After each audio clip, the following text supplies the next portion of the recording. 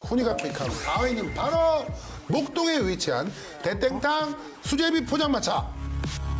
수제비가 각 지역 특산물을 넣어서 강원도는 옥수수 수제비, 충청도는 버섯 수제비, 파주는 참게 수제비, 경북은 찹쌀 수제비, 전북은 메기 수제비. 근데 목동은 대합탕 수제비라는 공식을 만들게 한 그 원조집이 바로 이곳입니다. 대박 진짜? 말만 들어도 진짜 시원할 것 같고 소주가 그냥 뭐 절로 그렇죠. 예, 절로 땡기는 그런 안주도 하고 해장도 하고 딱 좋죠. 여느 포차들처럼 메뉴판에 종류는 수십 가지지만 각 테이블마다 기본으로 하나씩 올라가 있는 검은색 뚝배기가 있는데요. 이게 바로 이 집의 대표 안주 대합탕 수제비.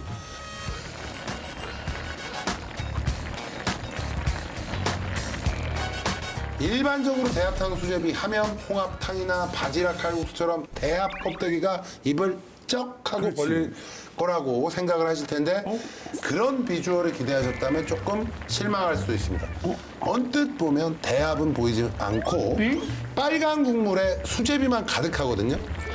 근데 한국자를 크게 떠보면 크고 작은 대합살이 수제비 사이사이에 빼꼼하게 껴 있어요. 그 껍데기를 다 그러면 빼서 분리한. 거죠. 아, 어, 어머 왜 그 대합통으로 안 넣고 잘랐대? 음. 예? 대합이 크잖아요. 네. 이걸 통으로 많이 넣으면 국물이 느끼해진대요. 엥? 그래서 적정한 크기로 잘라서 일정 양만 넣어야 감칠맛이 살짝 돌면서 깊고 지- 진한 국물이 된다 이겁니다. 여기에 고춧가루 양념 풀어서 얼큰 칼칼한 국물에 수제비 한 점, 대합살 한 점 같이 떠서 크게 한 입 호록